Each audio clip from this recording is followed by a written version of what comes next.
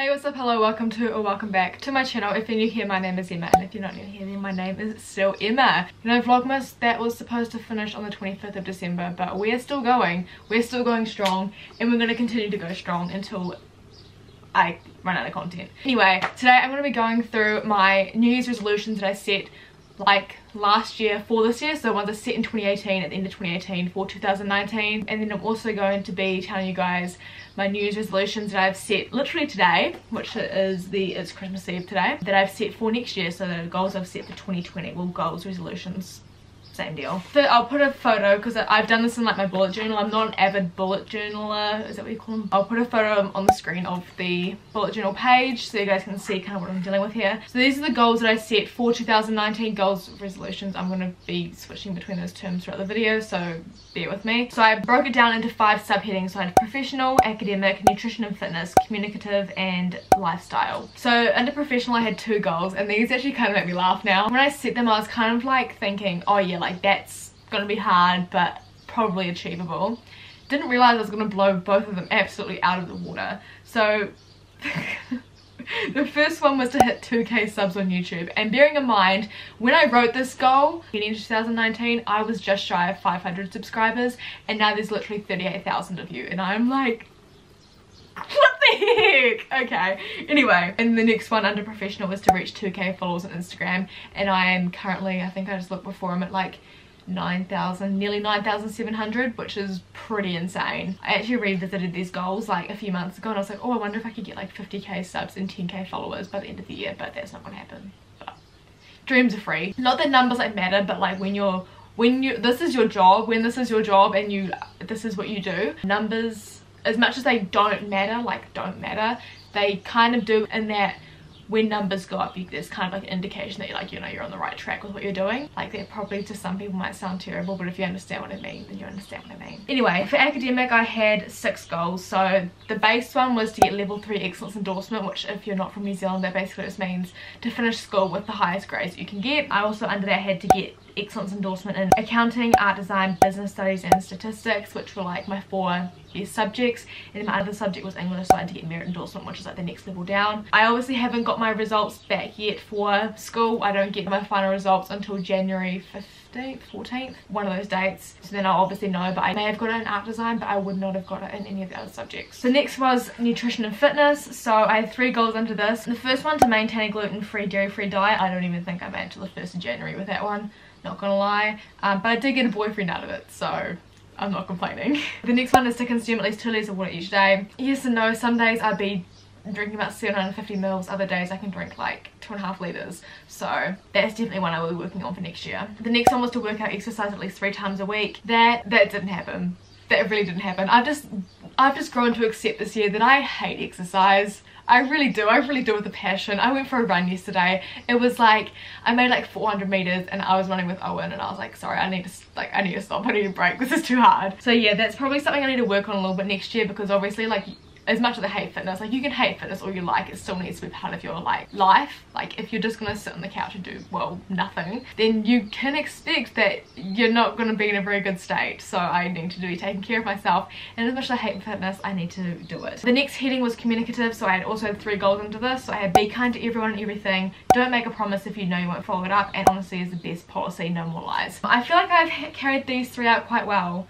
Like I'm someone I literally cannot lie. I just can't. Like I just can't. I feel guilty. I stutter. I just cannot. My boyfriend makes fun of me for it. I'm just the most gullible person because if I don't lie I expect that no one else will but everyone else kind of does so I just fall into everyone's traps. But that's fine. Um, we're not here to talk about that today. Next up we have lifestyle. So again, three goals under this heading as well. So save not spend. feel like I did that pretty well this year. I've got a pretty healthy university fund. Well, I did have to dive into that when I had to buy a new phone.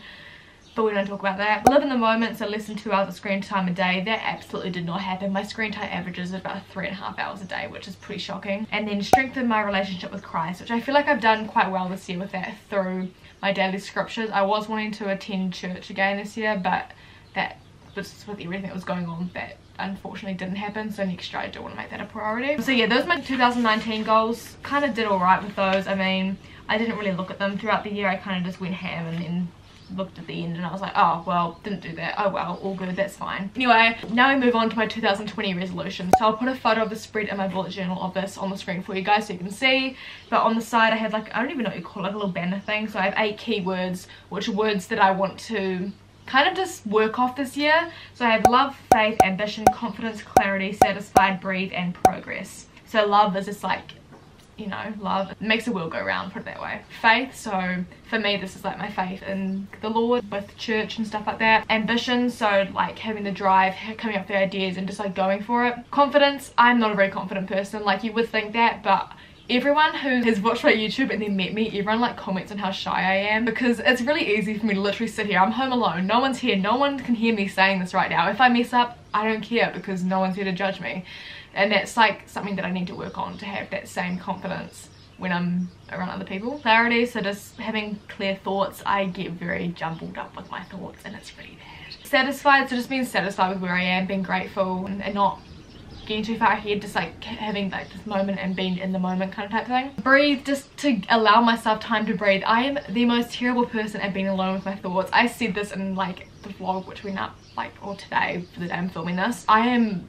shocking at being alone with my thoughts so that's something I need to work on and progress. So like not dismissing the fact that I am making progress and I am moving forward and I am doing good things rather than just looking at the bigger picture and being like oh I'm not there yet. Well you are getting there Emma and you need to just calm down and wait till you get there and appreciate the progress you're making along the way. So this year I separated my goals into four subheadings which are kind of a little bit messed up I'm not gonna lie. I didn't plan them before I wrote them down.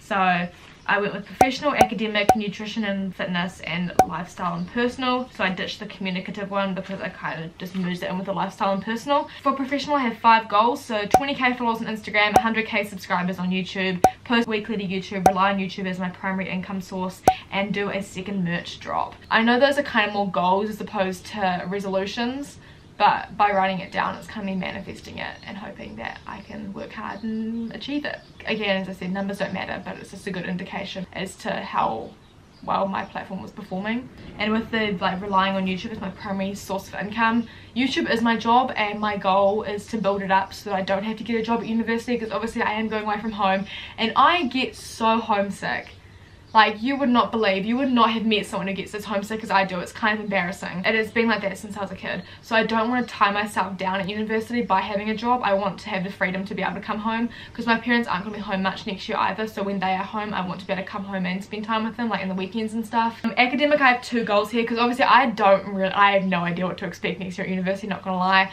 I, yeah, could be throwing myself i'm definitely throwing myself in the deep end so anyway stay focused on my studies and work now play later so basically by that i mean like do the work now to get it out of the way and then you can have fun later on. Next up we have nutrition and fitness. So I have three goals here. So maintain five plus a day which could be difficult at university but we'll see how we go. I do eat pretty healthy for the most part but it's really difficult because I can't eat like fruits. I'll talk about that in a minute. Move my body at least three times a week. So whether that be going for a walk, going to the gym because there's a gym on the uni campus and also I can just like leech off Owen's gym membership which would be great as much as they probably would not want me to join with the gym but that's fine and then the third one work to keep my skin clear you can't really tell on camera at the moment but I have psoriasis and it's not fun it's not fun at all and I don't want to go on another medication. I just don't, like my body reacts so terribly to medication. Proper medication, not like vitamins. I'm talking about proper like, the stuff I have to go on for my skin is proper harsh stuff that they use to help people who are trying to recover from like cancer treatments and chemotherapy and stuff. Like it is intense and it is not fun